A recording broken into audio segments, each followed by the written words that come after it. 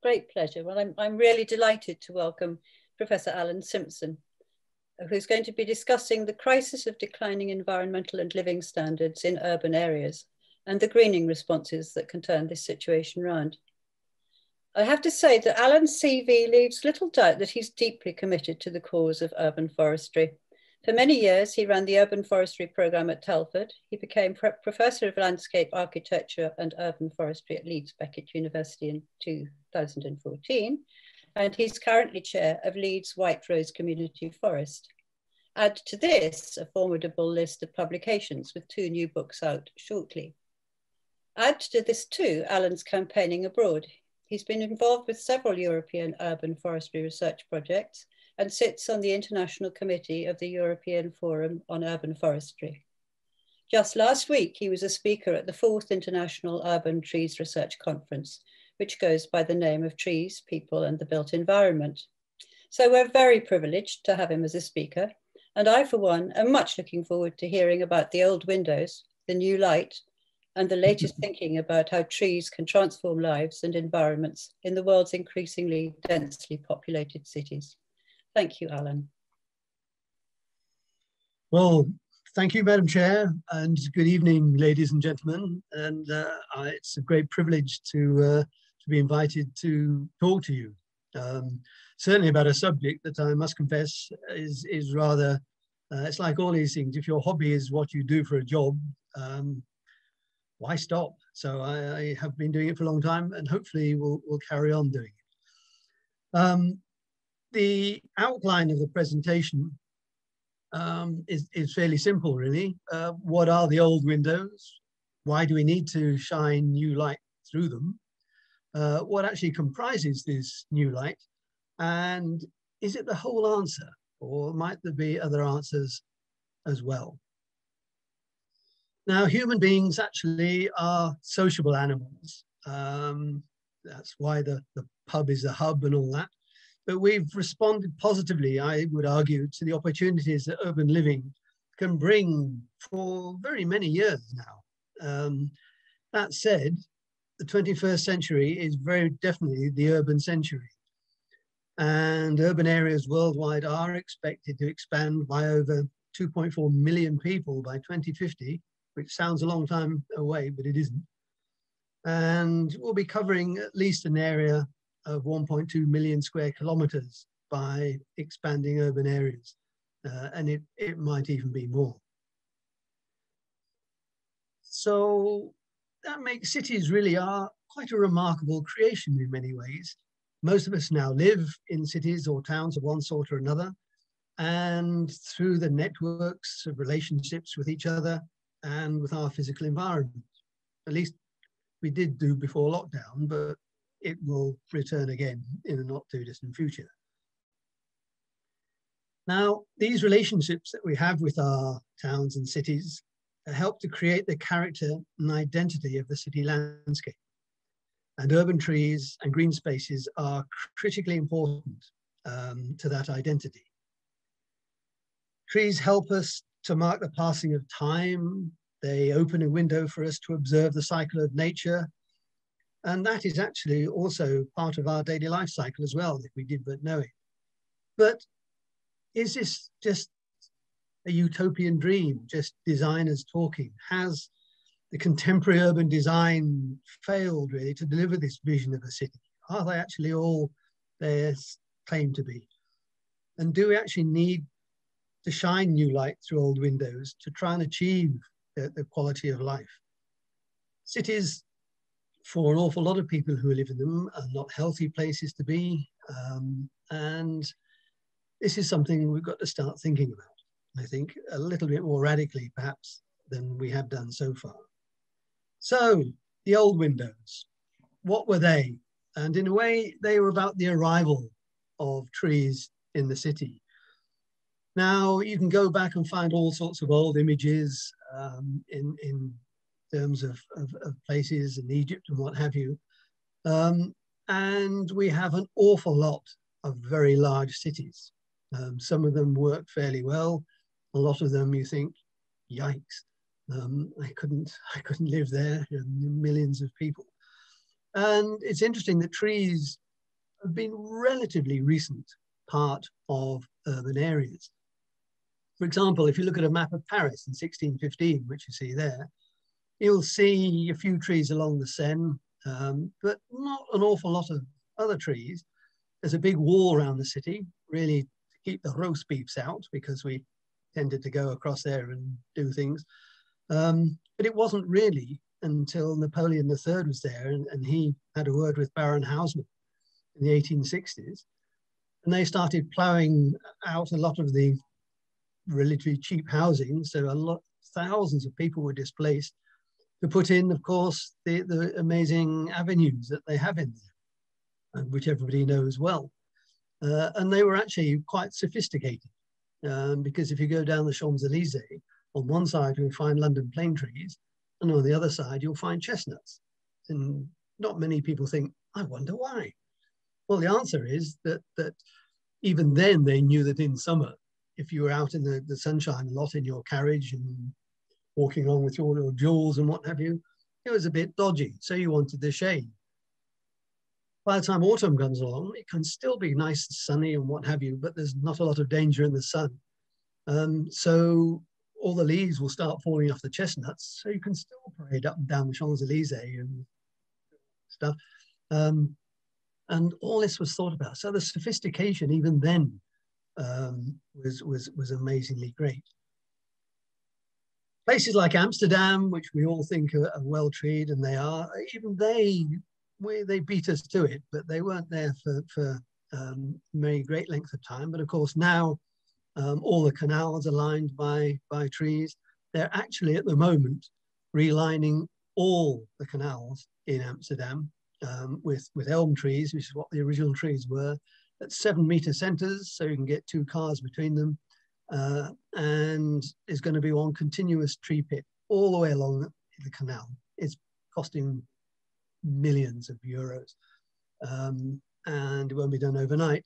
But you think, wow, that's that's that's taking it very seriously, which is great. This country, of course, um, was slightly different. An early map of London looked very green. It was very green, um, but most of it was private. If you were just an ordinary geezer like me, a lot of the places would be locked. It was for the folks that lived there and not, not for, if you like, the, the common people. And we didn't actually like urbanism very much in this country, mainly because we started the Industrial Revolution in many ways. And life expectancy, um, even in the middle of the 19th century, wasn't that great. You had to have been born, educated if you were, get a job, marry, have kids, and all the rest of it. And if you made 30, you were very lucky. Uh, and that really was not a very great thing for cities. People actually didn't like them. We officially became urban in 1851, and we actually planted the first street trees, believe it or not, in Chelsea um, in 1853. Uh, none of them are there now, uh, so they actually didn't last that long, but okay, they, they were there. But the Industrial Revolution was um, a very polluted time, as, as, as, we know, and Hogarth had some fun uh, doing some interesting drawings of London streets. Um, not quite sure what's happening to that little kid in the left-hand side there who seems to be plummeting towards the earth, but anyway. Um, and the streets of London um, were not very healthy places. When the movements to get green was going, a lot of people didn't think it was a very great idea. John Stuart, allegedly in 1771, wrote that the rus in urbe is a preposterous idea at best. A garden in a street is not less absurd than a street in a garden. They're all, more or less, tinctured with the same absurdity, an awkward imitation of the country amid the smoke and bustle of the town. So I guess he didn't like trees very much. Interestingly, though, the Quaker philanthropists, who many of whom were behind the urban um, areas and, and certainly behind the, the, the um, getting the industrial revolution going, they were quite the reverse. And it was interesting that Robert Owen in 1816 wrote, the presence of trees is pleasant to the eye, refreshes the workers, and improves the health of the district. And he, New Lanark, planted trees. Um, folks did in, in Bournville and other places because they knew it made the place better. They would get more out of their workers. They would live longer. People were healthier. And you think, that's 200 years ago. And it was only really the beginning of this century when people started saying, you know, actually trees actually improve. You think, we've known that for 200 years. Um, sadly, we haven't always done much about it. Now, I'm not going to go into the key dates particularly, but ideas of trees in the city started getting acceptable really in around 1800. Um, by 1820, we had more than 40 squares in London. And as I said before, 1851, we were an urban population for the first time. Um, and Parliament passed various, acts, new streets were created. Um, and really, by about the end of the 19th century, um, street trees were almost routine. People um, accepted them. And it's amazing to see how it were planted uh, and what places are like now, because a lot of the trees are still there, and along the embankment, of course. Um, so we began to start thinking, hey, trees actually are part of what the urban life is. Things actually took an interesting turn um, Ebenezer Howard wrote a book called Tomorrow, The Peaceful Path to Reform, because he did not like the way urbans were going for ordinary folks. And the fact that, that you just didn't live long enough to, to really enjoy your life, he thought was absolutely horrendous. And he wrote his book. He also went in 1901 to a big conference. It was called the City of the Future Conference. It was the first conference on that topic in the world. Uh, it took place in Birmingham, and they all um, went to look at Bournville, which which was then up and running and what have you. Um, and they all thought, wow, this is amazing. Howard and his notes actually still exist um, in the Bournville Village Trust library. Suddenly thought, I've got it wrong. I thought it was all about economics. It's not. It's about design. It's about trees.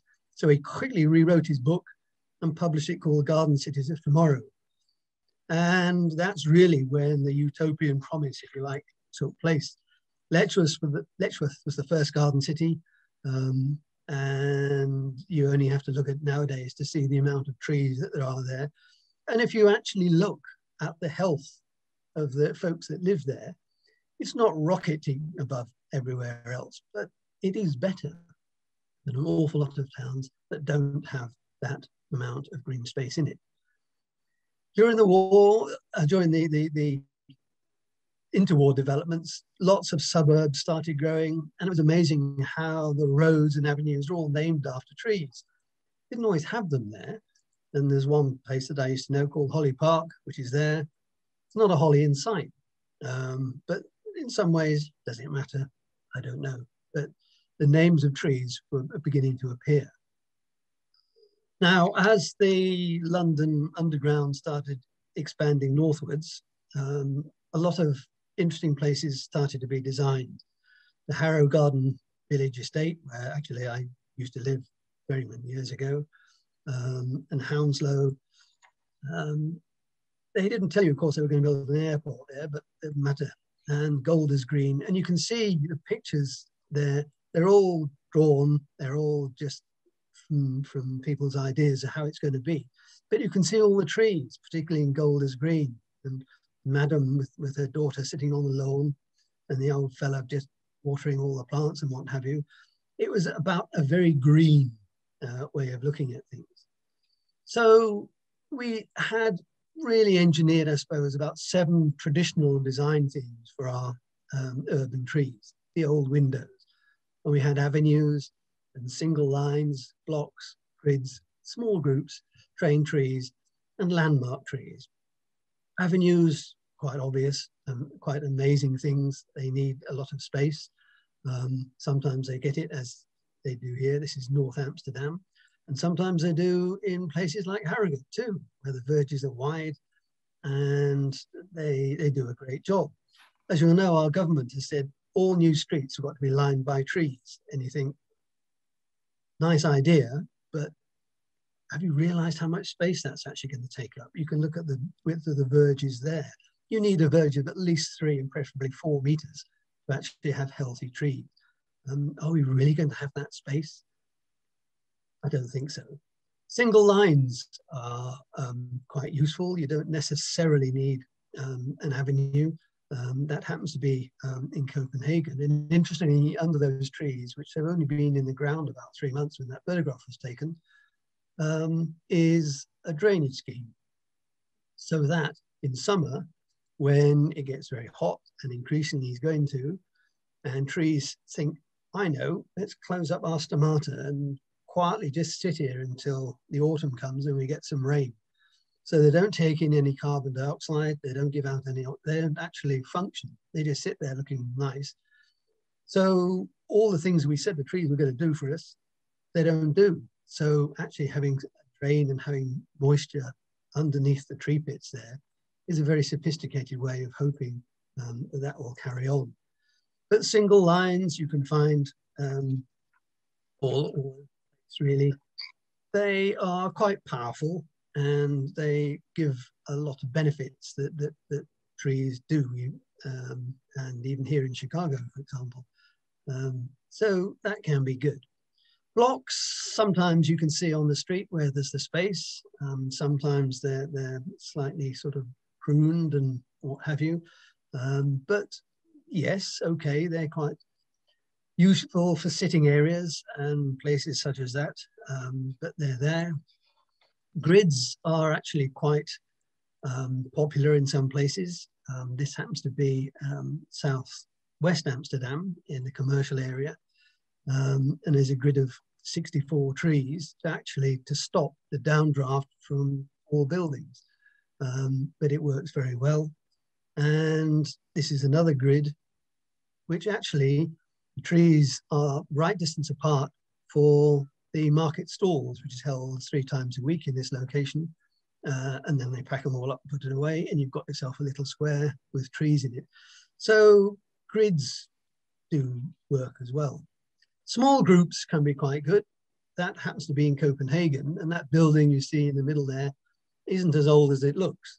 It's all part of the architecture of, of Copenhagen, who try to make buildings blend in, if at all they can. That's a library, and they were going to build it right up in the same building line as the others. And we managed to persuade them not to. Said, let's plant some trees.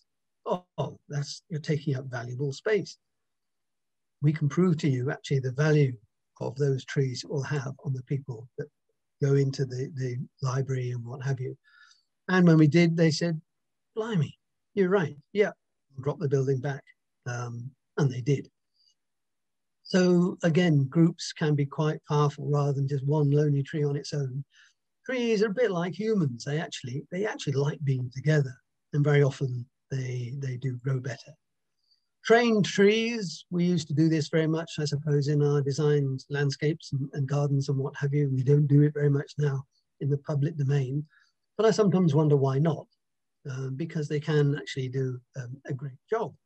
Uh, and it's, as some people say, it's sort of hedge on stilts. Well, yeah, all right. Um, but the idea of actually having trees there and, and not having huge ones that, that, that overshadow everything come, come very well. Here, these trees have been trained laterally. Um, and this was in a Floriade in the Netherlands, and it was done for shade. So you've actually got an overhang of, of um, trees and, and everybody's um, quite happy, very sophisticated. Landmark trees, I think these are possibly the oldest trees in Amsterdam. Um, they're at Leidseplein and where the, the, city walls used to be. Um, that tree is outside the European Parliament in Strasbourg and is very much a landmark tree. You can find them in all sorts of places. Um, they often weren't planted. It was as the town expanded and there were trees in hedgerows or wherever they were, they just went round them. And so you've got mature trees uh, and it works very well. And I found that one in Malmo and thought, what on earth? That's a weeping beech. And it who's trimming that like that? Anyway, eventually found out someone said, why'd you do that? And they actually pay a bloke to, to do that. And they said, oh, but you are English, you should know. I said, I'm sorry, I no clue what you're talking about. They said, the grazing line in, in all your wonderful you know, Chatsworths and all the design landscapes. I said, yeah. He said, well, we don't have cattle and things to do that. So we do it ourselves now so that the light and, and air views can actually carry on under the tree. I thought, blimey. Uh, and there are actually a few of them as, as, as landmark trees in, in Malmo. But the big thing about all these is they take up space. And are we actually going to have this space in the future? Um, are our towns and cities actually going to be quite as open as we think? And I suspect actually not. Talk about that in a moment. But apart from these, these basic old windows, of course, there's all sorts of other things. Yes, this was the first um, public park in, in Leeds. It's at Woodhouse Moor and it's still there. And yes, it has very formal planting, uh, but there's nothing wrong with that. Although we now know, strange enough, that people respond better to less formal landscapes. Uh, some research has been done that people think, well, well, yeah, okay, and they'll go there and they'll do it, and that's fine. Um, but possibly less formal might be the answer. And certainly, if you go to the Emscher Park in Rhine-Westphalia in Germany, um, which is an amazing reclamation of a, of a previous, very heavily um, industrialized place, all sorts of groups and, and, and very informal planting, millions of trees, but informal. And again, I think that works very well. Malmo again, if you go and look, the new mayor there said, right, I want all trees down most of my roads. I also want suds, urban drainage, gardens and what have you. And they have. And the reason for doing that was to try to keep young people in the city because at the time Malmo was going through a very bad patch. All the major uh, uh, industries had closed down, Saab had left, etc., etc. And he, against the government, said, no, you can't. He said, yes, I can. And the mayor set up a university. Uh, and now it's an amazing um, city. Uh, very Swedish in my view, but then that's, my view doesn't count. Um, it's amazing how he's used vegetation to basically bring back uh, a city to place. And of course, Central Park in New York and places like that um, still exist. They still will exist. Um, they're unlikely to build on it. They can't. Um, but I don't think we're going to do any more of these sort of scale things. The new towns in this country tackled it slightly differently. Um, they didn't see trees as a cosmetic. It was, it was a metaphysic. It was a fundamental. And planted, well, as you can see, six and a half million trees. This is Telford, 138 species, um, about 17% tree cover, and the average in the UK is then was about um, 10.8. It's about 13 now. Um, and it got granted a lot of um, economic benefits. 40% of all the um, investment from Japan and Japanese companies in the UK is in Telford. When they were asked why, because they said quality of the environment. And that set a lot of people uh, thinking. But again, the, the, the, the type of, of, of, tree planting was very casual and, and very different. There weren't very many formal bits. Uh, and they got very close to houses, if at all possible. Um, and sometimes you had to amend foundations because of that. Yeah, okay, so you do it. Um, but people benefit being able to see trees and not see them miles away because the architect said, oh no, it'll undermine the tree. Well, we can sort that out. So why do we need to shine new light through these old windows? Well, if we've got that, what's the problem? Well, interestingly, there have been a number of surveys um, towards the end of the 20th uh, century, the beginning of the 21st, on trees in towns. 1993 was, was okay. It looked at 66 towns and villages, and things weren't too bad. Trees in Towns 2 was took place in 2008. Um, and that set people wondering because urban tree cover had reduced um, by up to about 20%. That was the actual thing. And what they found that we were planting less in the towns than we had been 15 years previously. Um, about a quarter of all new trees die. I think it's actually greater than that personally. I think it's more like 35%. More trees were being felled, often quite unnecessarily. And a third of all local authorities had no actually working tree strategy whatsoever. And people started thinking, ah, that doesn't sound very useful. And if you look at how urbanism was expanding, uh, you probably might have seen this photograph before, but it makes you wonder, it's nighttime. Why isn't everybody tucked up in bed with the lights out, for goodness sake? But they're not. And you can see there's not many dark places um, in Europe where we haven't got some urbanism. And the expansion of our urban areas is beginning to move quite radically. We had about three and a half billion people in about 2010. In, by about 2050, the UN reckoned that we have about 6.3 billion. Um, the EU estimated, and they were right, that by 2020, about three quarters of the European population will be urban based. And even more worrying that 60% of the urban areas that exist in just under 10 years time have yet to be built. Um, and that's the speed of urbanization in developing countries. Interestingly, in places like here, uh, and I think post-COVID particularly, most of the growth probably is going to be in small and medium-sized towns, part of polycentric regions, not just in the mega cities. Um, people actually, they've got a car, this, that, and the other, um, or they can work from home, don't need to commute. So yeah, why not there? Now in Skipton, which is where I am at the moment, um, in the last three, four months, five bedroom houses, the price have gone up um, by something like six to seven percent at least in cost. Because people want five bedrooms because one's going to be an office and they still want four bedrooms. Um, so things are on the move. Europe actually looked at urban sprawl in Europe, um, and that worried them even more. Uh, what was even more worrying was that car registrations were four times greater than the registration of births. So a lot of populations are static. Some countries, um, I think it would be un unfair to, but Italy is probably one, that are not enough um, kids are being produced to actually replace the population that is there. Um, and a lot of other countries, um, that's going to be similar. We are not going to be um, immune from this.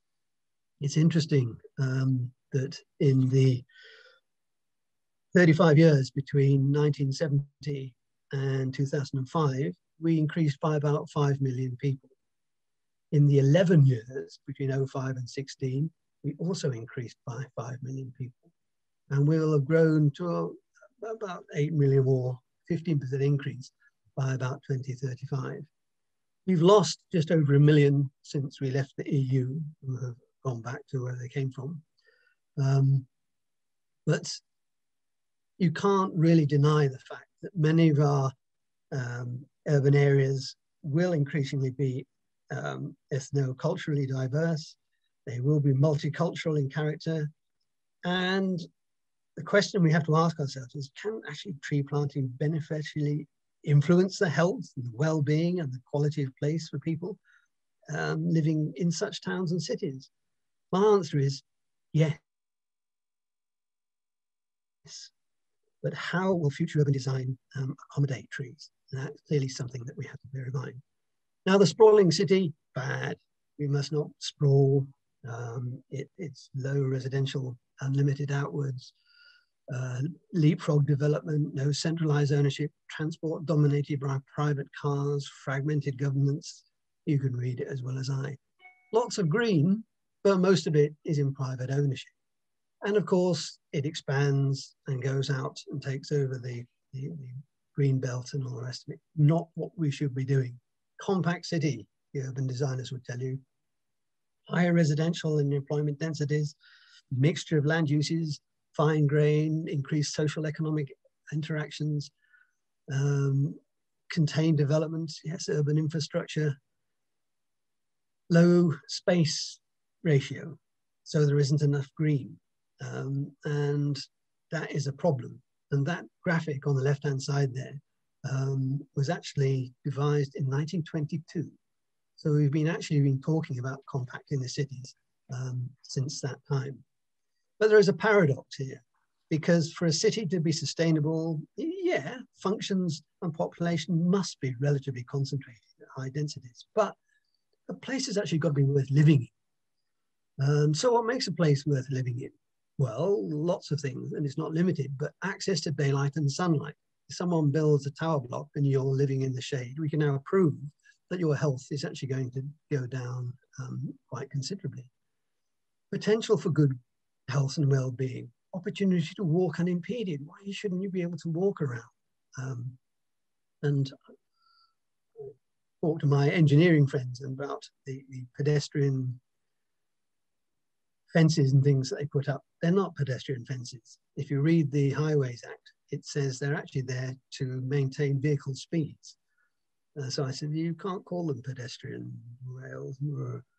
Anyway, but anyway, access to art, music, culture, the 20 minute city, which we're now talking about, that everyone should be within a 20 minutes walking of basic shops uh, and, and what have you. Um, we always used to be, in the days it used to be, there'd be a little shop and it was close by, it would sell you what you needed. Um, that isn't the case now. You have to go to the, to, to the main high street and what have you. And we started thinking again about the 20 minute city. You, know, everybody should be within 20 minute walking distance of basic facilities. Yeah, okay. Fresh food and clean water, obviously. Proximity to friends. That is so important. And so many young people now are not saying, I live in that tower block and I work in that one. No, not anymore. That is not life. Sorry, I am not going to do that. And you think, yeah, good on you. Read.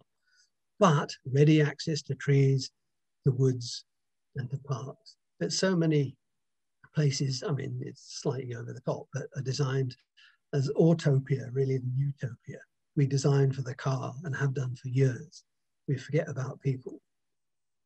And anybody who says the camera doesn't lie has never really worked with Photoshop. This is a picture of Leeds as it might have been if all the buildings that were going through planning in about 2007 and 2008 um, had been built.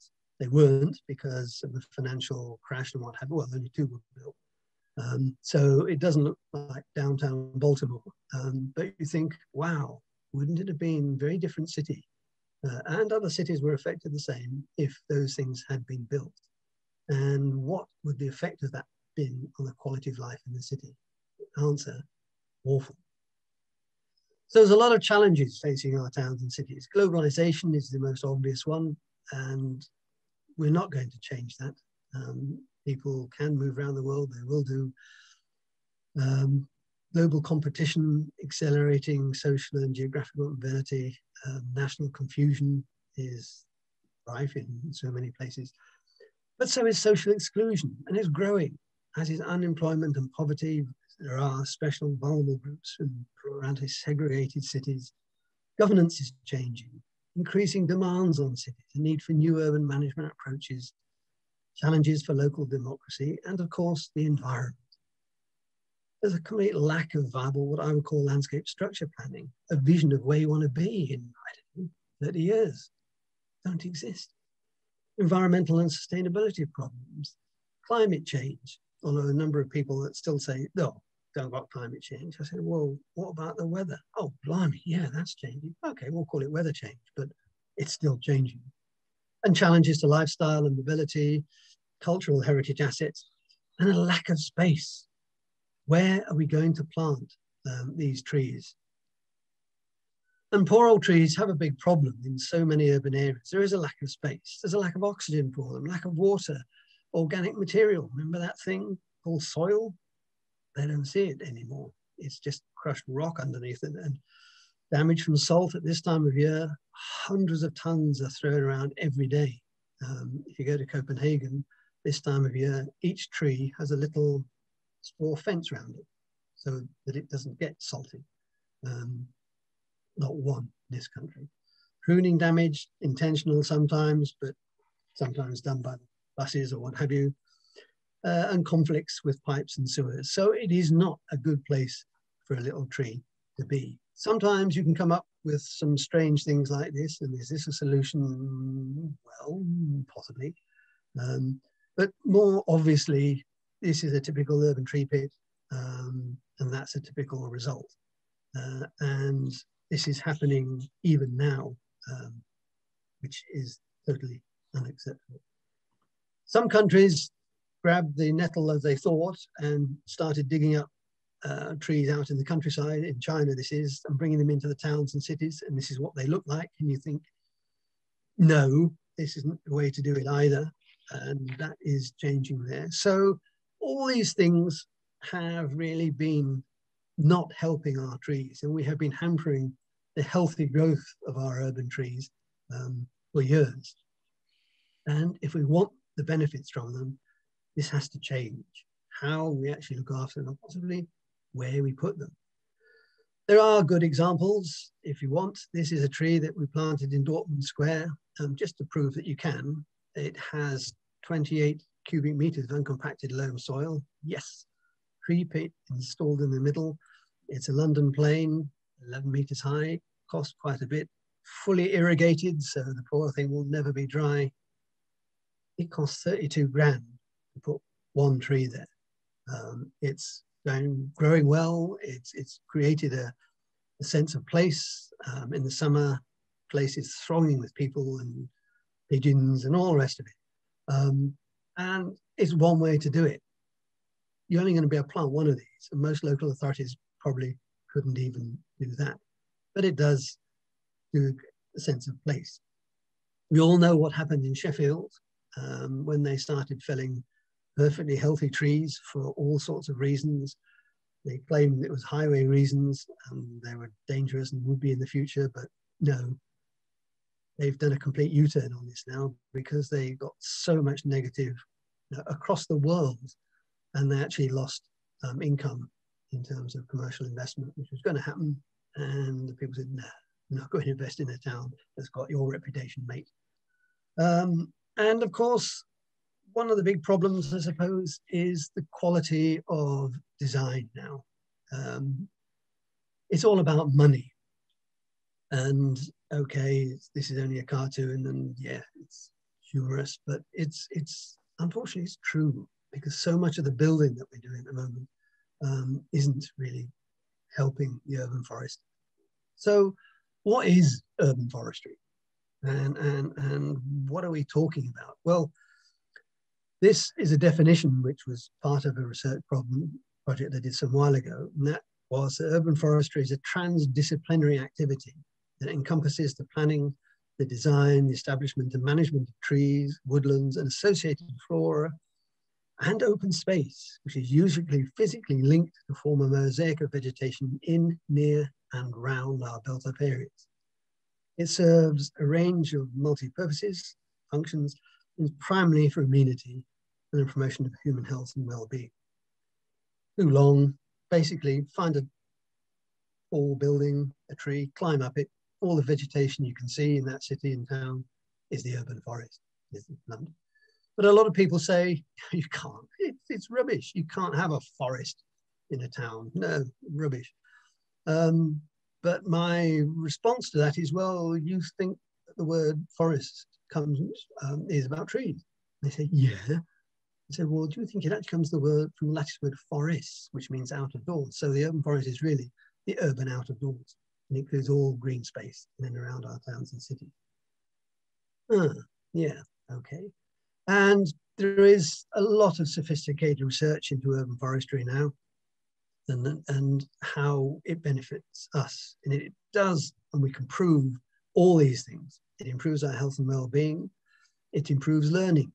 Uh, children in primary school that can see trees waving through large windows um, by the time they're 11, they're at least a year ahead in numerology, in language, and all the rest of it. And we can prove this. Property values increase, focal points to improve cohesion, yes, air quality improvement, of course, offsetting carbon emissions, emissions, promoting biodiversity and nature in the city, which is critical, limiting the risk of flooding, cooling our towns and cities, and promoting inward investment in job creation. And it can even make us drive more safely. Um, all of this once upon a time was just, well, that's just your view, mate.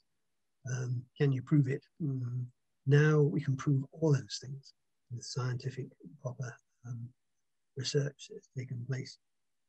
But change now is the norm. We live in a time when it seems that actually almost anything can happen. Technology, ecosystems, politics, economics, our everyday habits, change is ubiquitous. Some is positive, mm, some is less so, but mutability is something we're having to learn to live with. And we all, or many of us, live in actually polycentric city regions. In many parts of Europe, North America, and Asia, speed of urban development over recent years has created these polycentric city regions or the continuous city. It's not going to slow down. Thus, biological balances have altered, biodiversity is reduced, and the space available for urban greening is increasingly limited. And thus making places not pleasant places to live in best practice is over. And when I say that, my colleagues say, what? No, no, no, no, we've got to do it. I said, no, if it's best practice, it's done. Can urban forestry create next practice and engage in reconciliation ecology and make cities worth living in? And the answer is yes, we can. So the multifunctional urban forest can be the fourth dimension for the spatial articulation of green infrastructure or I think it should be called critical infrastructure rather than green infrastructure. It still sounds a bit cosmetic, but critical infrastructure isn't. We can make place for residents and visitors and recreation and place this space with meaning.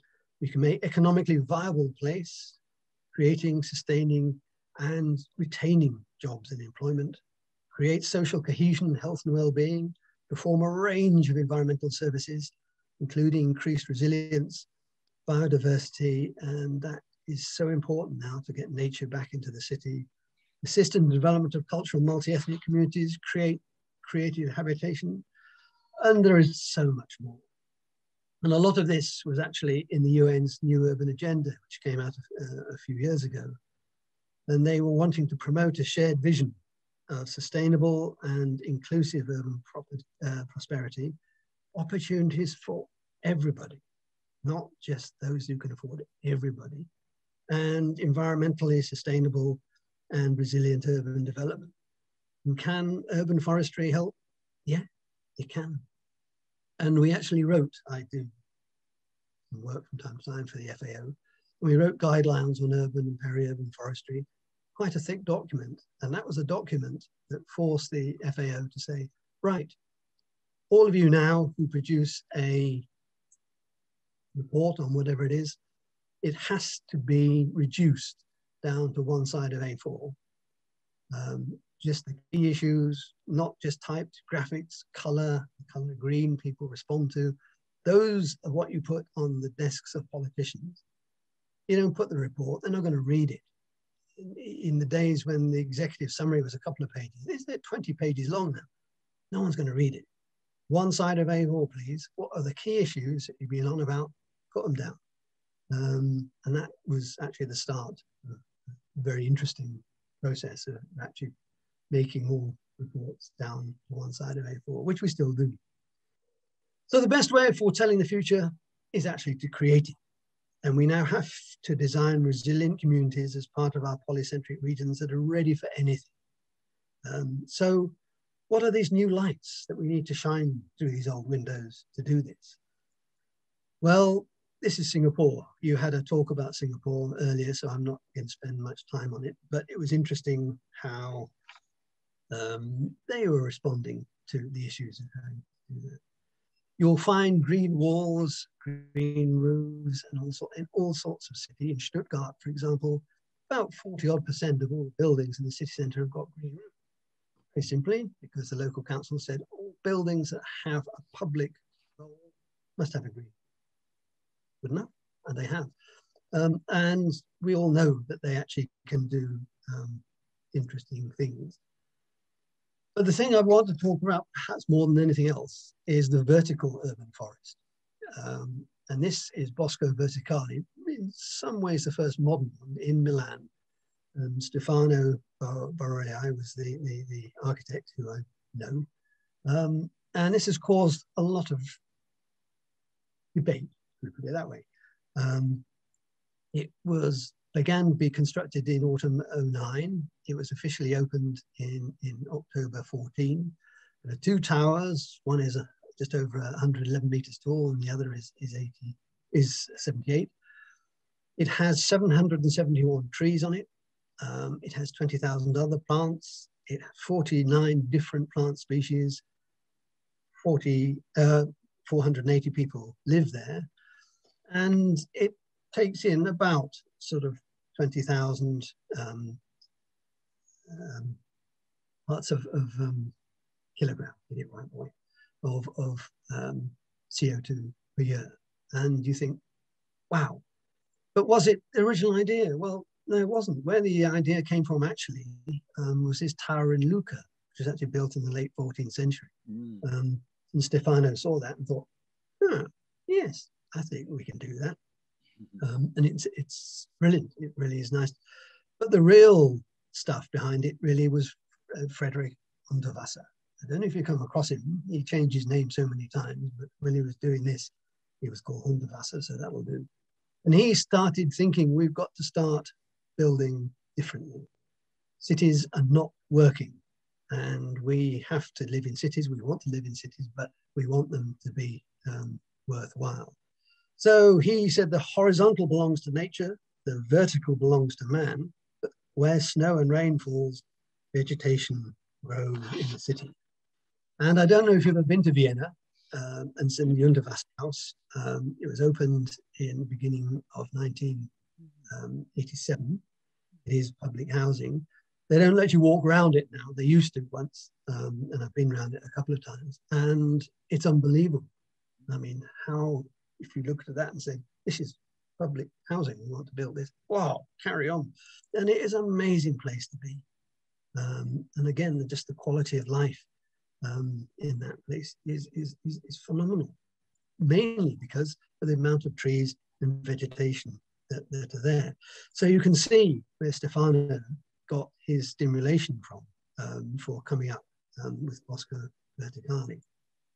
And it is sophisticated trees that were planted on it were actually trained in a wind tunnel um, with winds of 190 kilometers an hour. So that when they were taken out and put on the building, they said, well, this is better, mate. Oh, not at all, not a problem at all.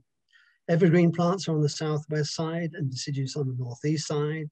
There is an irrigation system um, which incorporates wastewater from, from all the apartments and, and what have you.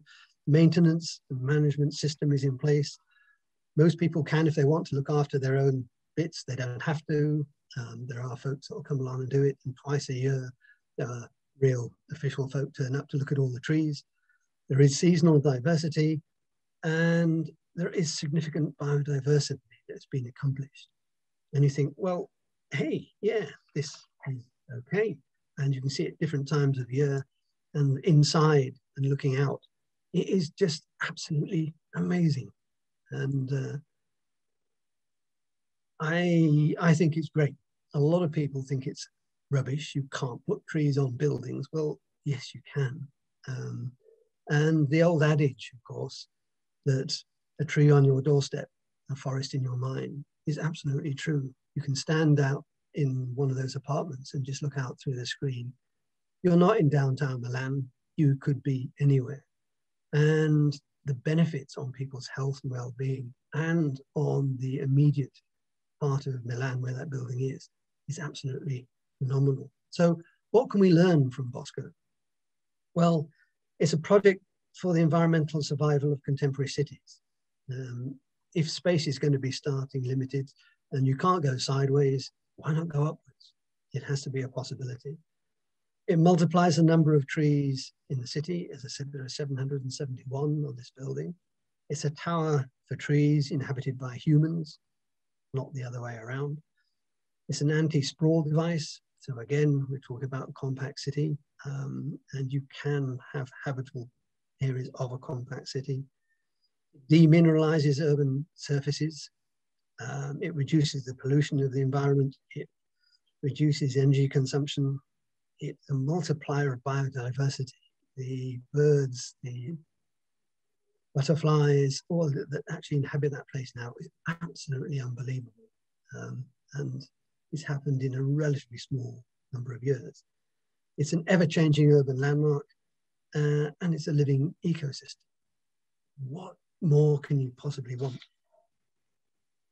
As a result of that, the number of vertical forests actually are growing quite amazingly. And I had lots of examples, but I'm not got the time to tell you, but just a few. The Tower of Cedars in Lausanne was built and is doing very well, thank you. The riverside at Tirana is going to look like that. Some of that has started to be built. Um, it's on its way. There's a new town being built east of Cairo um, because you can't build anything in Cairo now. Um, that's what it's going to start to be looking like. And the country that has really taken on this is China. They are building towers all over the place at the moment. Um, these are in Nanjing at the moment um, and going to be all over the place. Um, that is Huanggang, as it might be. Again, some of that has started. It's not looking like that just yet, um, but it, it, may well do. Um, Liuzhou is probably going to be the first vertical forest city. Um, they, I didn't think they would do it. I know they talked about doing it. I thought, mm, not sure they will, but they are. Uh, and you think, wow. So Chinese urban futures, um, this is their idea, not mine. Uh, this is how they start seeing we are going to have to make urban cities work like we need the vegetation, we need the trees, we need the health and happiness of the people, we need the biodiversity, we need nature. All that has been driven out of the cities. We now have to bring it back. And we can only do that, not nature on its own. I shouldn't tell you show this, but this was a building that was put through planning in Leeds um, as version. It's not really very good, and I'm glad to say the planners said uh, no, go away and come back with something a lot better if you want to do it, which they haven't done, not yet. So, having said that, there are other helpful beams of new light other than those alighting on the vertical forest.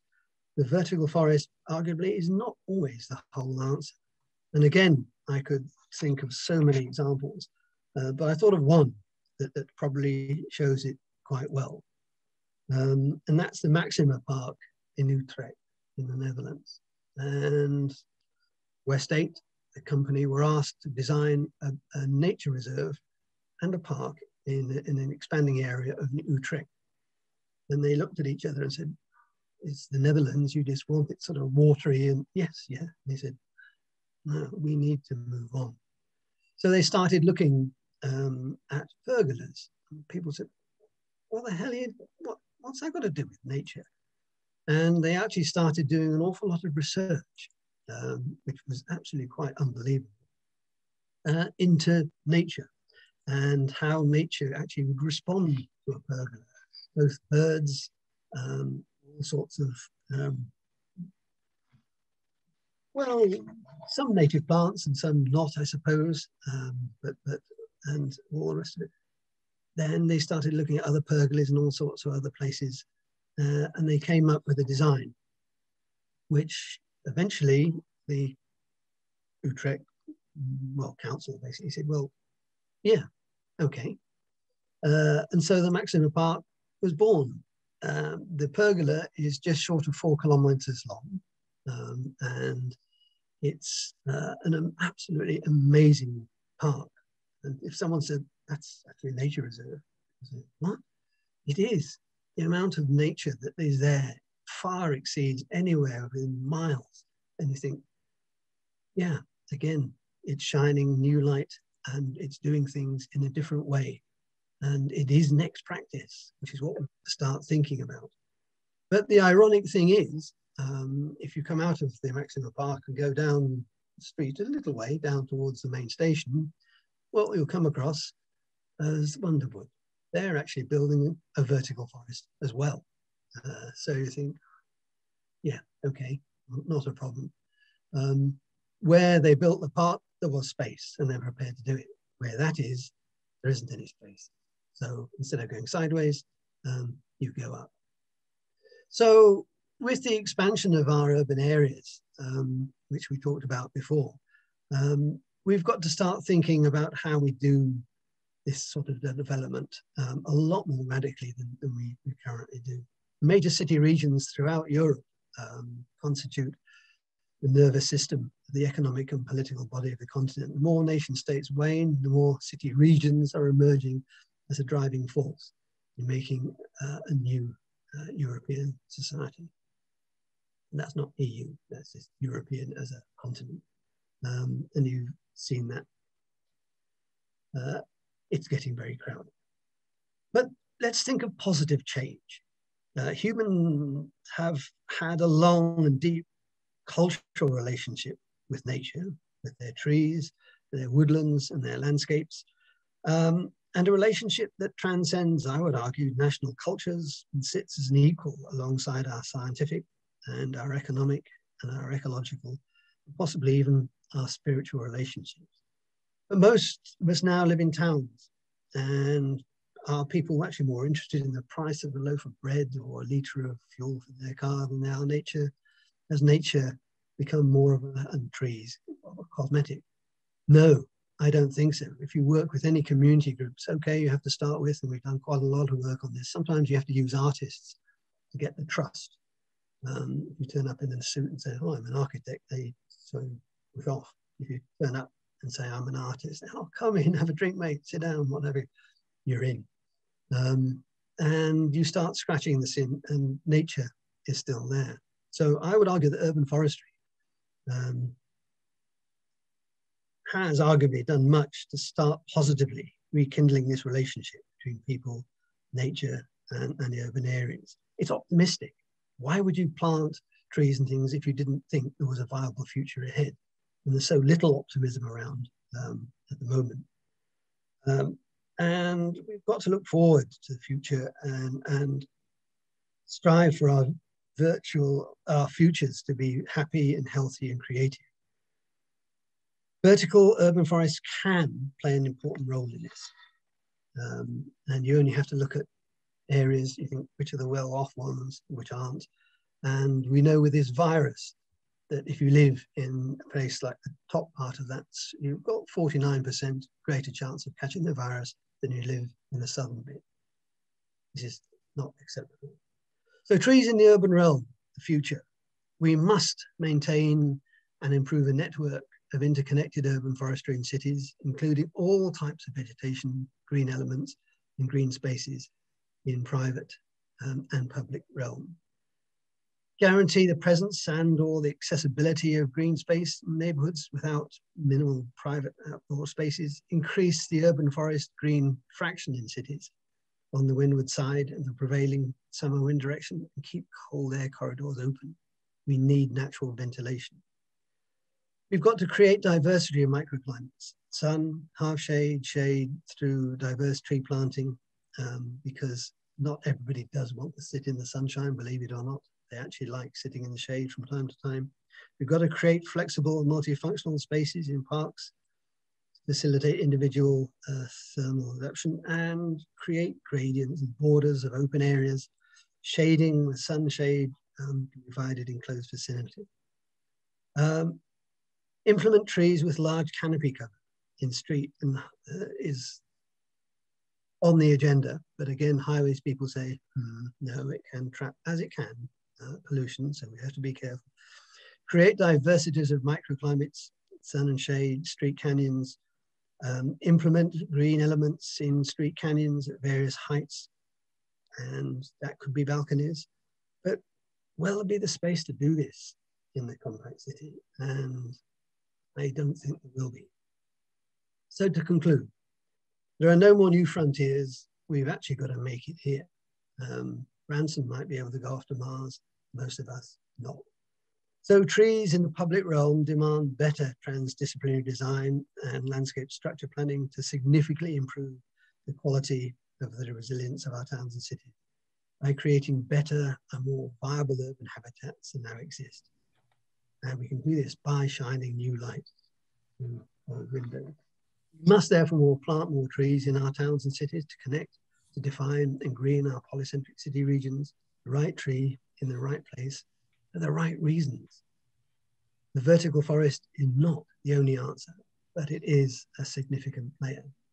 And this must be part of a belief in the value and importance of our plural multicultural cities as a nucleus of our culture, together with a far more radical approach to post-industrial resilient urban design, urban forestry, and placemaking, with open minds that are prepared to shine new light through old windows and that includes vertical urban forests. And a thought to take away from probably, I think, one of the best philosophers of the 20th century, um, Frank Zappa, who said, a mind is like a parachute. It doesn't work if it's not open. And you think, yeah, how true. So what are we doing it for? Well, we're doing it for poor old folks like this. Um, he needs to lose a few stone. He's been working at home. He needs to get out. He has got out. He drove there absolutely knackered. Um, but really, who we're doing it for are these folks. It's the next generation and the generations after that that we have to get this right for. Um, and it's no good just waiting for them to take over. We're not dead yet. We've got to be able to do it. So, another thought to take away is the choices and decisions we make today will resonate at least into the 22nd century. And if we get them wrong, we'll bequeath a bleak future to subsequent generations. We surely need to look ahead and horizon scan further than most politicians and planners do.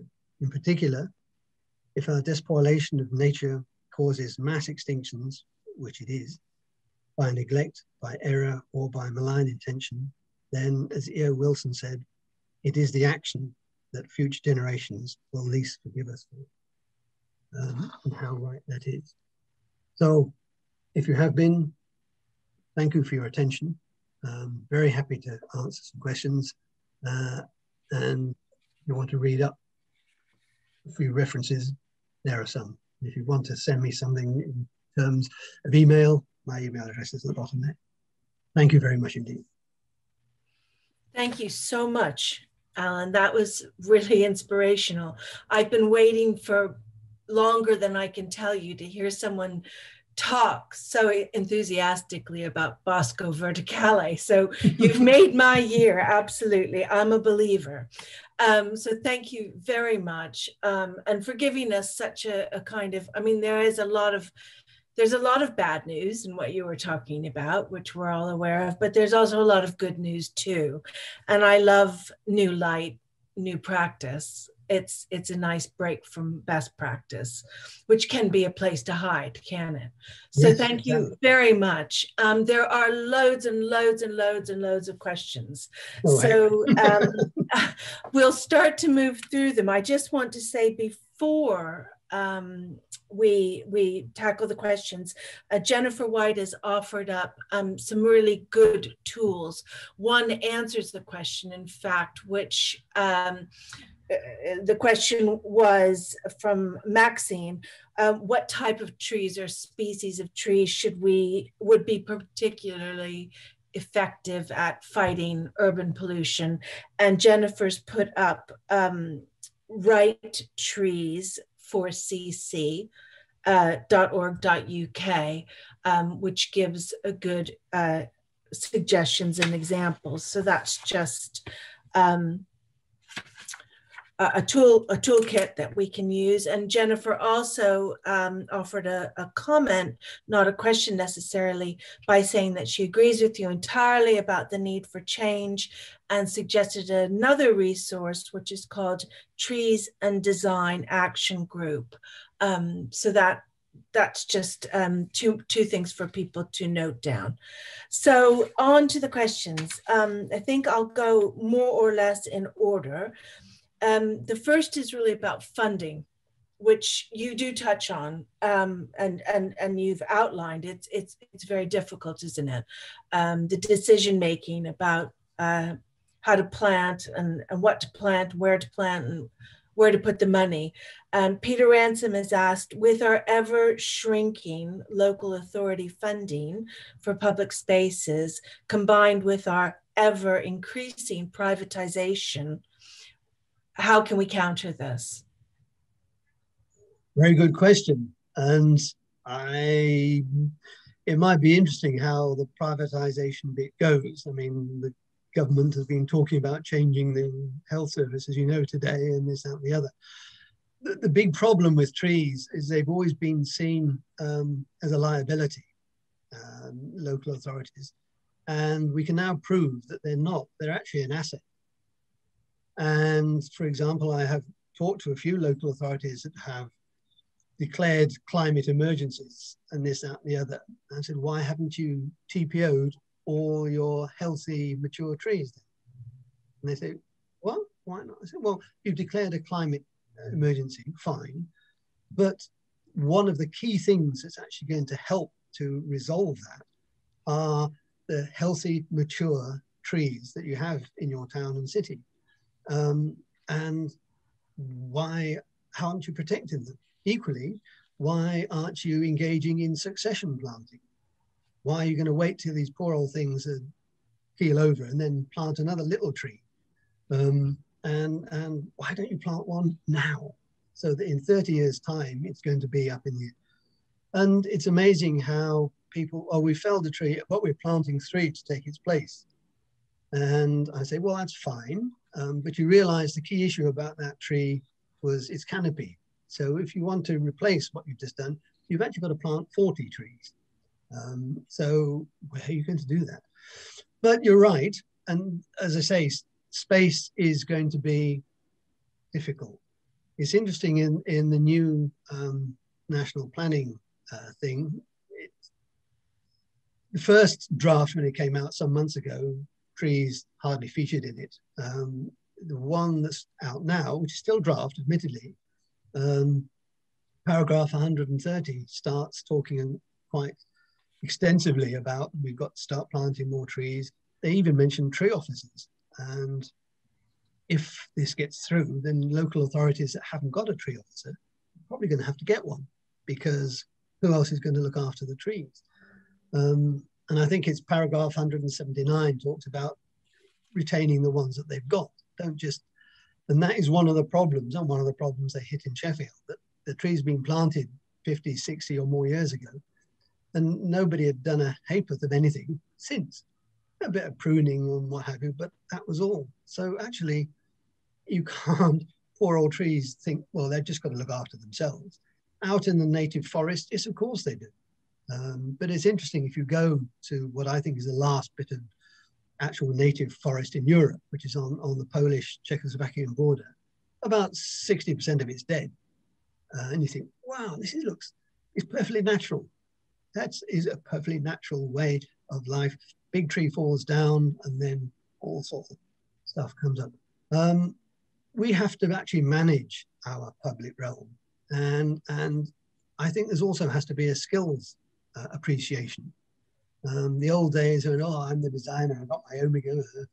Uh, and you think, well, you've done that, mate, but someone's going to have to look after that in perpetuity. Their skills are different than yours but they're just as valid.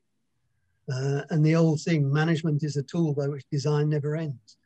Um, so we actually have to start working together. You can actually persuade local authorities um, to start doing planting um, because now so many people sort of say, Oi, what, what are you doing, mate? Uh, and people are coming around to the fact that we've got to plant trees um, as well as looking after what we've got. So even when the sort of local elections come round, you'd be amazed um, how many aspiring politicians are going to be talking about, oh, we're going to do tree planting and this, that, and the other, um, because they know people at long last are saying, yeah, COVID has helped that. And people have suddenly realized actually what they've been missing. And um, it is amazing how um, people's health, a, a, 20 minute walk in a slightly wooded area. Um, and the, the medics, if there are any listening, will, will, will confirm it. You can take people's blood pressure and what have you before they go and take all stat and all uh, after that about 20 minutes. They're a different person. And if they did that every day, the quality of their life would improve amazingly. Uh, if we got green places and can persuade local authorities to do it, which I think we can, and I take the point about the fact that money is going to be tight, it is. Um, but we can save the NHS billions a year um, if we get the quality of places right. The government have said that. That's not me saying it. The government have said that. So we, we shift the spending around because this is our new beginning, our new practice, not our best practice.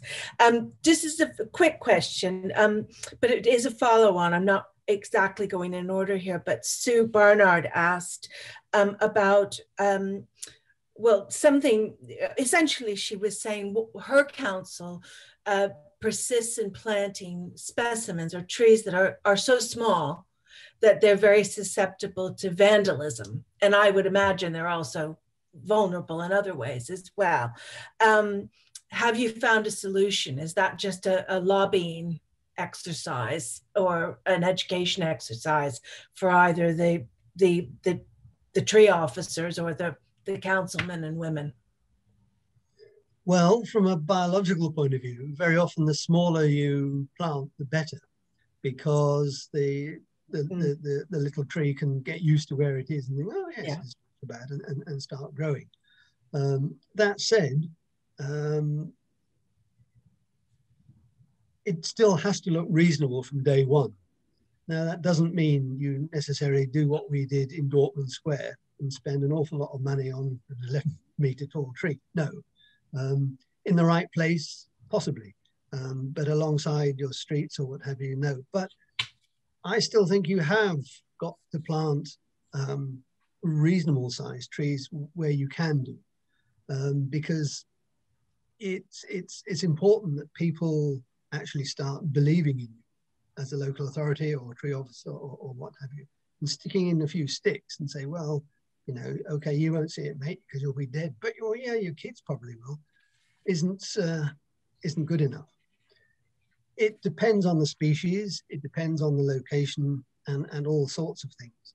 And one of the things that we have got to do is increase the species that we, we plant. Uh, you mentioned TDAG earlier. If you go onto their website, there is a, a download of tree species for green infrastructure, which has 280 species in it. Um, it tells you the good, the bad, and all the rest of it about those species. But basically, it's saying we've actually got to start planting completely different species in our towns and cities. As the towns and cities are going to get warmer and hotter, your native species, native species can, sit, is going to sit there and think, sit there and thinking. Yeah, I can hear yeah, myself. I can hear myself. Don't know where that's coming from.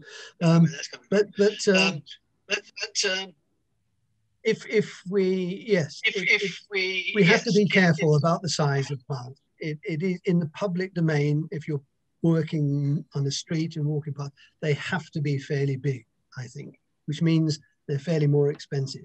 But we've managed to persuade quite a few highways folk to say, instead of planting 20 trees badly, just plant half a dozen really well.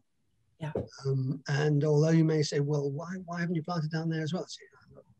These um, and that's, they're beginning to say, yeah, you, are probably right. Why, why just stick them all in and watch half of them die within two years. It's, and the argument is we've all got a vested interest in success, whether we're highways, whether whoever we are, we've got a vested interest in success. So the fact that we've all got to succeed means we've all got to work together um, a lot better than we, than we do do.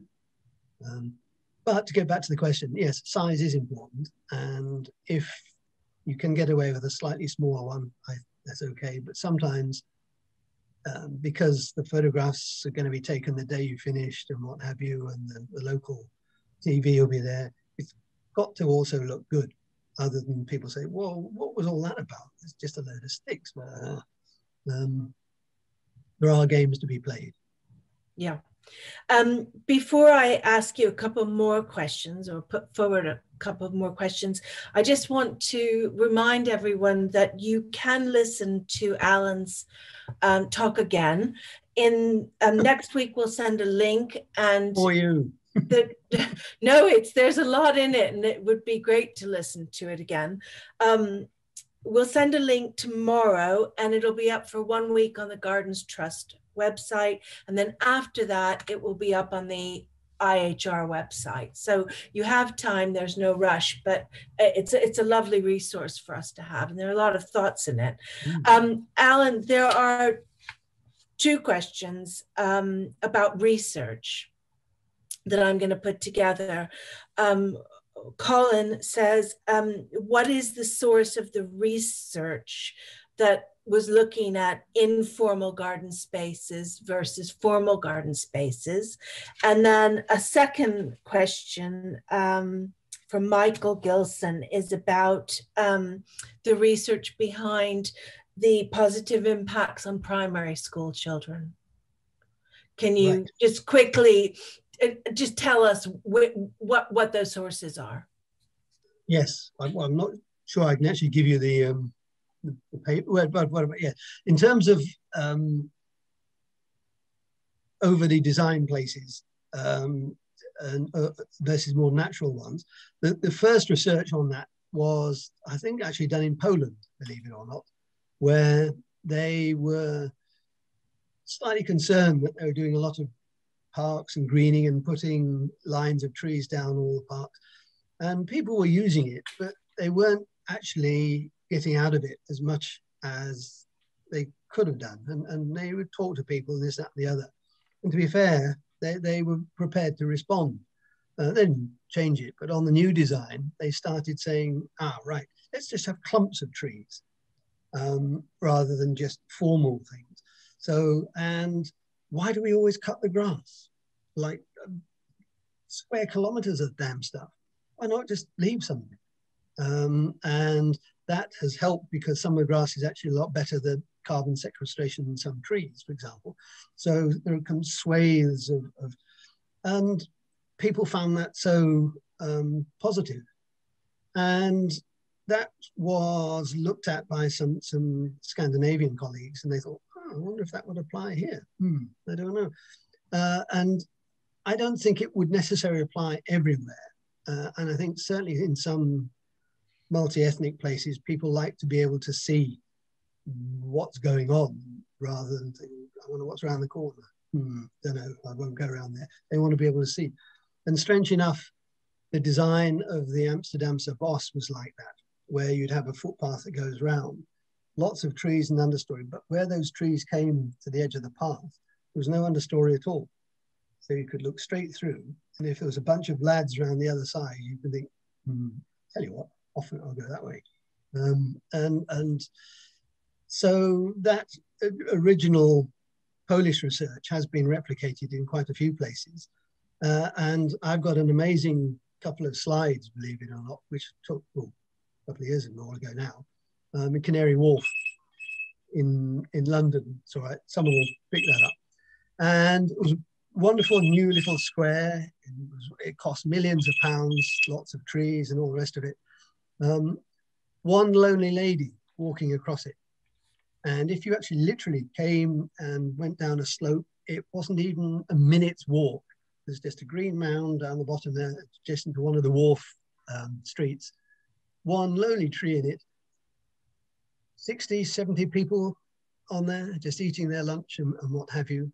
Um, and because it's a nicer place to be, you can talk to your mates. You don't have to sit in this this this sort of um, formal seating and what have you. So there's quite a lot of evidence around that sometimes, and sometimes you have to design formal places, of course, but occasionally it can be nice because your work is formal, your building's formal, and you just come outside and actually sit in the shade and listen to the birds and think, yeah, this is this is better.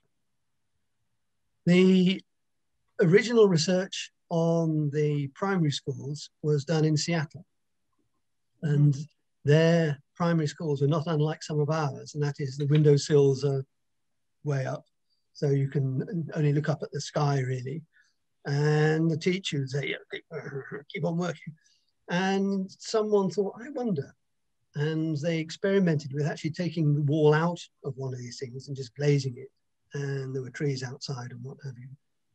And again, the teachers were told, no, you know, if that kid's just just gazing out of the window, just give them five minutes. Obviously, you can't do it for the whole day. They've got work to do, but don't shout at them. Just and this has been monitored for a number of years. And even while that was being done, um, the Swedes picked up on it and thought, oh, we'll do the same here. And they did. And as I say, after ooh, five, six years or more, they said these kids are just so far ahead. And therefore, it's changed the design, certainly in Seattle, of all primary schools and quite a lot of other places. Um, in that connection with nature, which we think is something that you have to be taught, you're not. You actually have it. And again, some of the German schools now, where they will not let you drop your kids off in your SUV outside the door.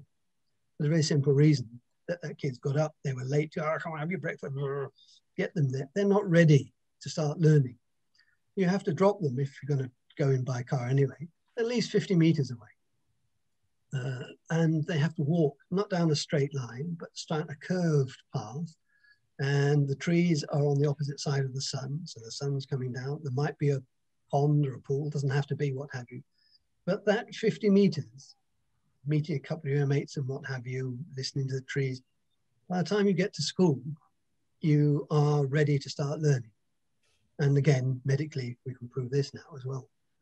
So it's it's there's, there is quite a lot of research out there, um, that but it originally started in Seattle, as I say, um, and Kathy Wolf and, and one or two other folks. Uh, but it's, it's gone on to a lot of other countries. Not this one yet. We're still working on it that's so brilliant because it's it's so simple. Yes. It just needs the thought and then just do it. It's just so simple. Absolutely. Makes so much sense. I mean, quite a lot of what you've said in a positive way is very intuitive about you know sitting under a tree or or or yes. seeing a, a, a, a clump of trees or leaves on the ground and and and moving out of your you know that that kind of dumped out of the SUV kind of you know er, four by four mood. We you know it is also about time isn't it? And and i loved what you said about trees help us to feel the passing of time. I think that's one of the things you miss very much in the city and i've certainly missed during lockdown being locked down in london. You know you you you you kind of lose lose the plot on what what's happening with time what's happening with the seasons.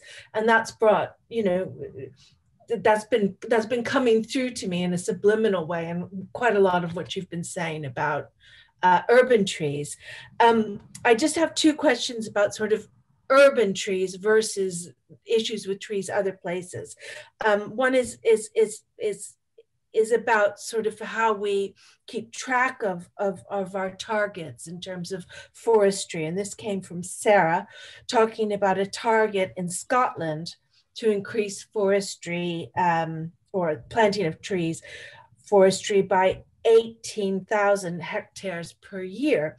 Um, her question is Does this include urban forestry or is this outside of cities and large towns? when the draft English tree strategy came out um, ooh, some while ago now, um, it didn't really, um, I'm a bit biased, I have to admit it, I suppose, but it didn't really include urban trees. It was about, it talked about forestry and, and uh, rural areas and this, that, and the other. Um, and an awful lot of people um, got back to the government and said, well, what about where people actually live? Um, you're talking about places where people visit, yeah, um, but they don't live there, at least where it's not many. Uh, what about towns and cities where, where most people live, where we do want health and well-being to increase and what have you. So the second draft which is probably coming out in May. Um, I've been told by someone who's working on it um, that it's going to be much more urban. Um, and it will be about planting trees in, in urban areas, um, which is which is good because, as I say, that's where where most of us live. It is different.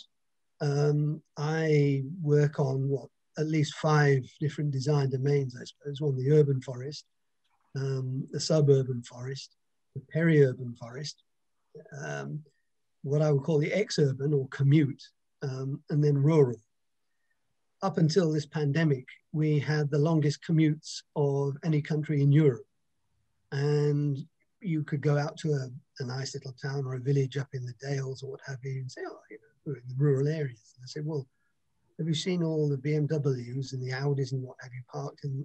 Yeah, they, they, they yeah, they live here, but they actually work in Leeds or York or whatever. And it's the same in so many other places. I mean, how many people um, commute from Grantham to, to, to London every day? Um, it's, it's amazing the distances we, we travel. So just because we live in the countryside actually doesn't mean we're rural people. We're not. We're actually ex-urban people. And all those five different domains um, actually had quite different approaches to design and species and, and, and all the rest of it. So this simple urban versus rural is not as it now is, really, as I say. The actual genuine rural areas um, are relatively small. That said, we, I can see no reason at all why almost all planting shouldn't be reasonably productive. We are the second largest importer of timber of any country in the world. China is the first. Um, and why shouldn't we start growing a bit more of our own? Why don't we do agroforestry? Why don't we get forestry and farming back together again? Because they went their separate ways uh, at the beginning of this century, um, 20th century. Um, it's, it's all about land use. So why can't farmers grow things? And there was an amazing thing you may or may not know, between 2015 and 2017, uh, Beijing planted 54 million trees as a ring forest around Beijing. And I thought, oh, I mean, yeah. And I thought, hmm. so when I actually went to look at it, uh, a little bit, but most of it was brilliant. And I thought, yeah, only some government like this could say, oi, we want your land. They didn't.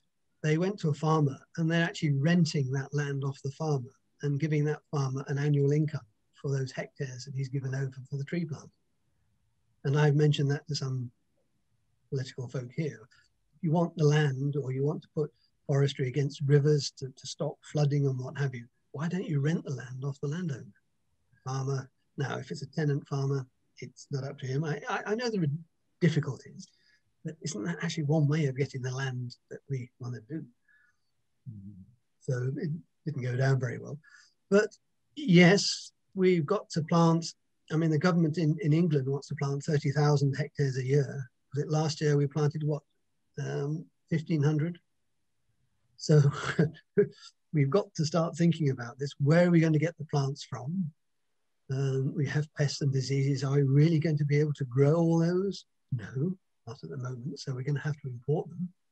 Um, all sorts of threats of more pests and diseases. So we've got to be very careful about biosecurity and all sorts of other issues. Uh, and we just have to be a little bit careful that these aren't just warm political words to, to make people think, oh, yes, we're moving in the right direction.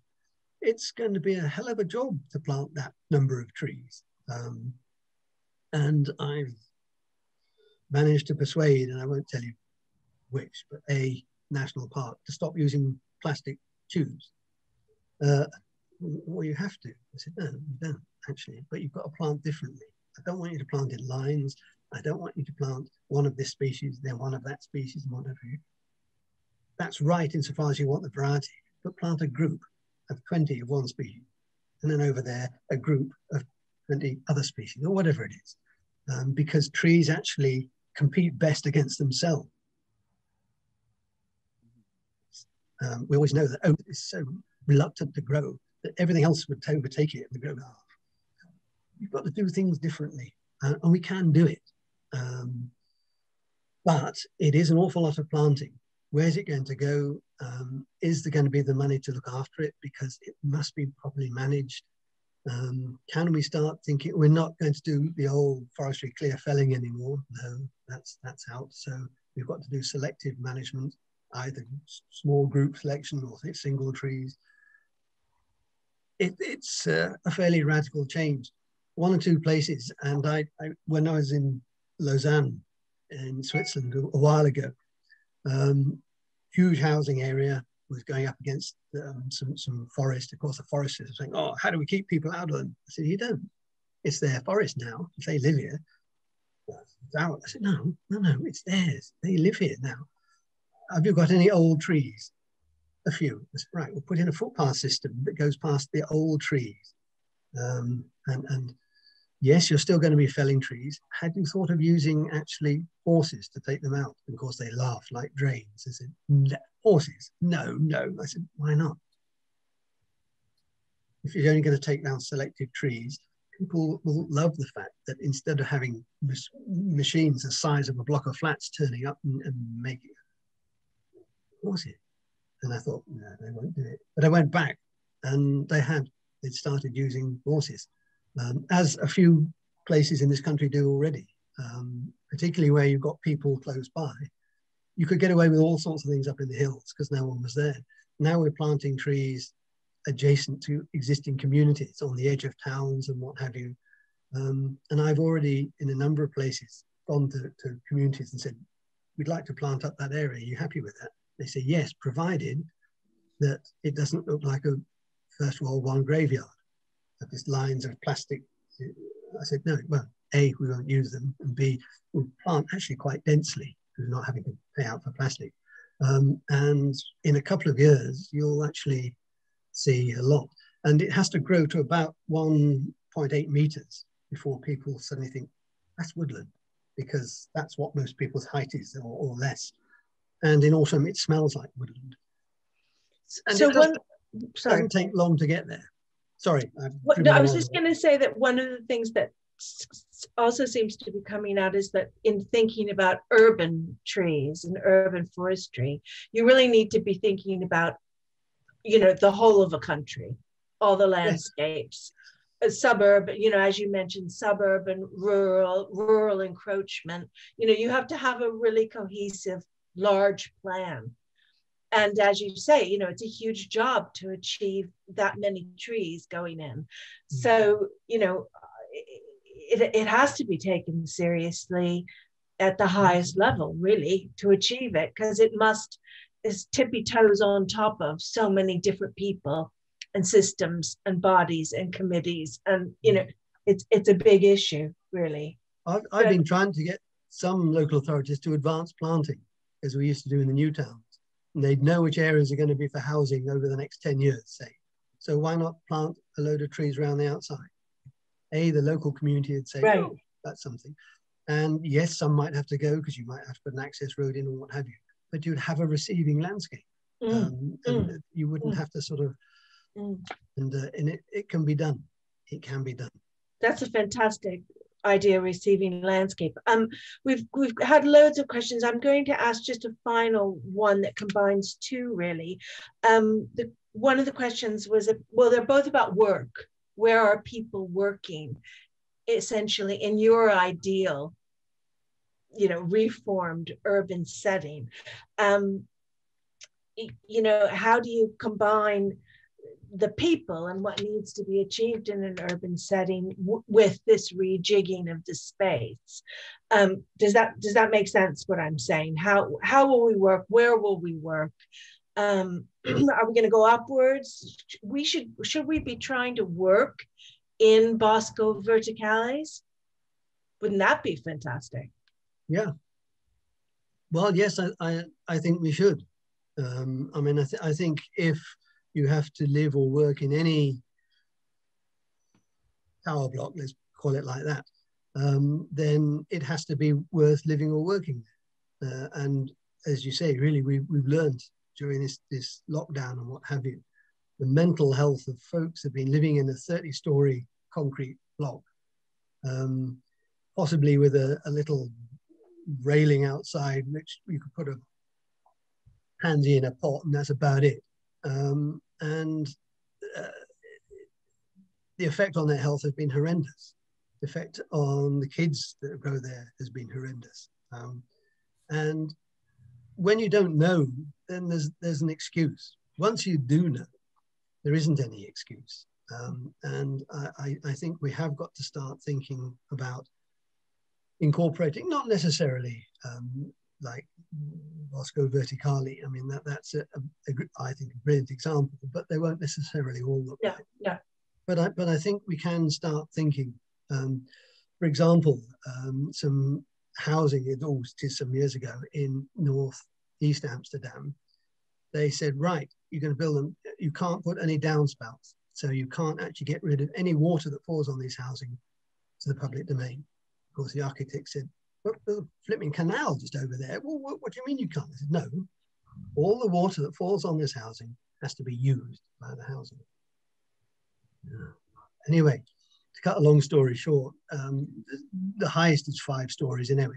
There are roof gardens, there are kids' play areas, and things all over this house. It's quite a big area. Um, it's brilliant. It's absolutely amazing. Um, and, and it's all um, irrigated by natural water that falls on the building. And you think, yeah, these are the sort of things that, you know, we want a local authority to say, oi, no, you, any, any twit can design a building that we've been doing for the last hundred years. Let's design a new one. Um, mm. I also think, incidentally, which is not really to do with this, uh, we've got to start using reconstituted timber a lot more um, because I used to get shot at because I used to travel so much around the world and uh, for, for flying and, you know, carbon, whatever. But aviation produces what, three, 4% of that.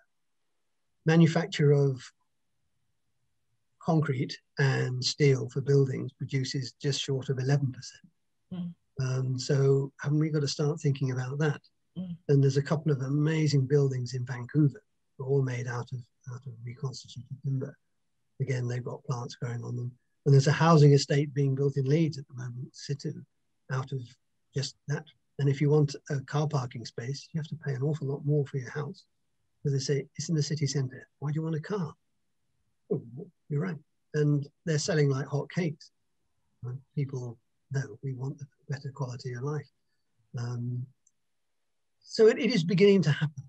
It is beginning to happen. But I, but I think um, cities are possibly going to change after the, clock, the lockdown. Um, some people like working from home, which is quite understandable. Um, there will be a lot of retail places that close.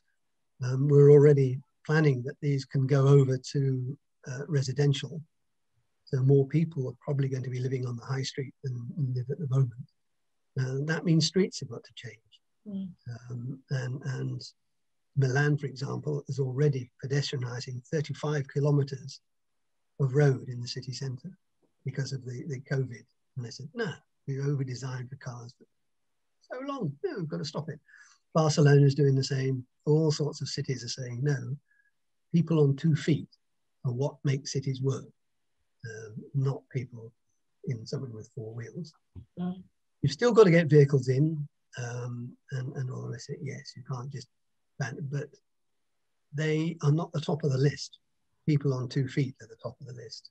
And kiddies being able to, to play safely. Um, you think of most towns and cities, where's, where's the nearest kids play area? You think, hmm, I don't know. It, I don't think we've got, yeah. oh yeah, it's about two miles out of town. So things are, I think, potentially radically changing uh, for the better. For the best. Yeah. I think you're. I think tonight has really shown that this has been a, a, a really a kind of a, a bit of a boost. Just thinking about all these initiatives and the way we're going, and and and and the possibility. There's so much more knowledge there, and you've pointed out to us the research, and and and a lot of empirical study has been done, and we now know that this can work. So um, this could lead post COVID to to a really bright future for trees and two-legged beasties. So um, I'm going to stop now because we have our open social time and we've gone on a long time, but only because your talk was fascinating and generated That so much interest. um, no, no, no, no, no. It, it, it's just obviously something that that needs talking about. So I want to thank you on behalf of the cohort and on behalf of my fellow conveners and myself. It's been a great pleasure. Thank you very much, Alan, and thank you for giving us your time. Um, Very welcome. Fascinating.